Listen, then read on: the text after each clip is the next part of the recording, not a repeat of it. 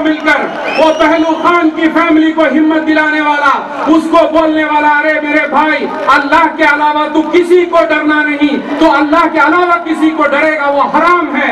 کر کے اس کو ہمت دلا کر اس کے کھندے سے کھندے ملا کر اس کے قدم سے قدم ملا کر لڑنے کے لیے کھڑنے والا پاپولر فرنٹ آف انڈیا والا ہے۔ اور اور ان کو معلوم ہے، مسلمان ایک طرف مایوسی میں گرنے نہیں چھوڑتا پاپولر فرنٹ والا اور مسلمان کو سر جھکنے بھی نہیں چھوڑتا پاپولر فرنٹ والا اور دیش میں یہ لوگ جیت کر آنے کے بعد پچاس سے زیادہ جگہ میں مسلمانوں حملہ ہوا ہے، دلتوں پہ حملہ ہوا ہے۔ اخلاق کو مارے، گائیں کے گوشت کے نام پر۔ پہلو خان کو مارے، گائیں کے گوشت کے نام پر۔ وہ جو حافظ جنید کو جا کر مارے، یہ گائیں کا گوشت کھانے والا مسلمان ہے بول کر۔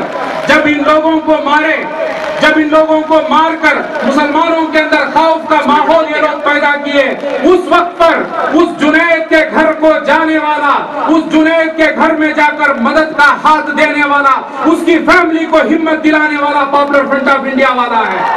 ادھر جا کر، وہ مسلمان کو اس دیش کا کنسٹیٹیوشن اس دیش کا سمویدھان جو ہے اس کو لے کر اس دیش میں جو حق کی لڑائی لینے کے لیے تیار کر رہا ہے۔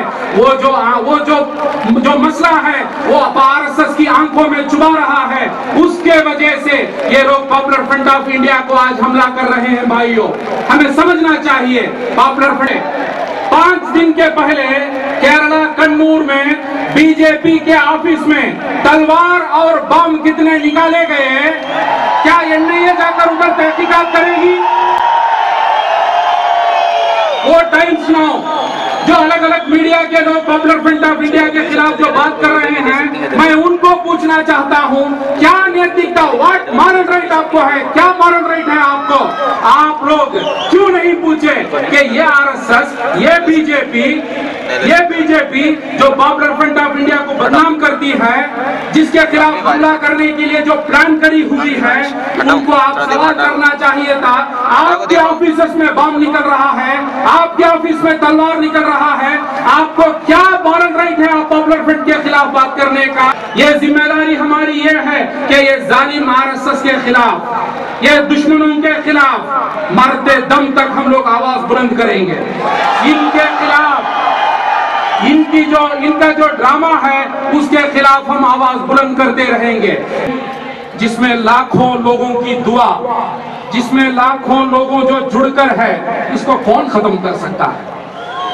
تو یہ نہیں ہے، یہ میڈیا کے چند لوگ، یہ جو ہماری جمہوریت کے خلاف جو کوشش کر رہے ہیں، جمہوریت کو ختم کر کے ہٹلرانہ نظام کو لانے کی کوشش کر رہے ہیں۔ انشاءاللہ۔ ان کی سازش کو ہم لوگ ختم کریں۔ گے ان کی جو سازش ہے، اس کو ختم کر کے ہم لوگ کامیاب ہو کر ابھر کر آئیں گے۔ ایک لاکھ لوگ جو آئے ہیں، یہ ایک لاکھ لوگوں کی ذمہ داری ہے۔ یہ طاقت کو ہم اور آگے بڑھائیں۔ اس کو اور آگے لے کر ہم لوگ جائیں گے۔